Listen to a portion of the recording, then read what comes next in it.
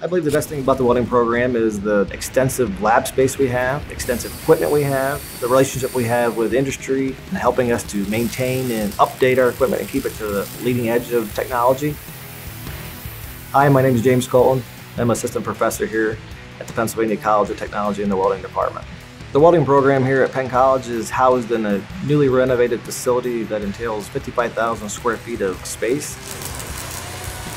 We have around 370 students currently. When you enter the lab, you will see our seven welding lab areas, which entails 126 welding booths, 126 welding machines.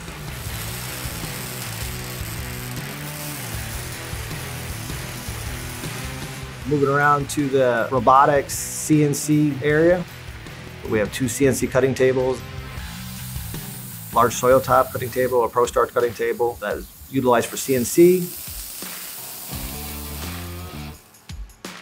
We have 10 different robots. Uh, we have Cloos Robotics, we have ABB, Panasonic, Motoman, and KUKA. Also in the robotics area is our laser room, which entails a KUKA robot with a Laserline welding head and Laserline power source. Next to them is housed the electron beam welder, we're one of the only schools in the U.S. that have an electron beam machine that is used for uh, education. Moving into the fabrication area, there is a CNC press brake, plate roller, precision shear, layout tables, overhead crane.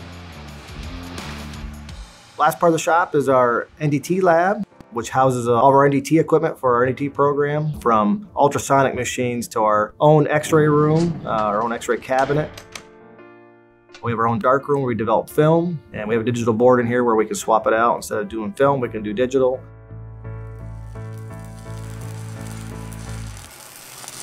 We are only one of five welding engineering technology programs in the country.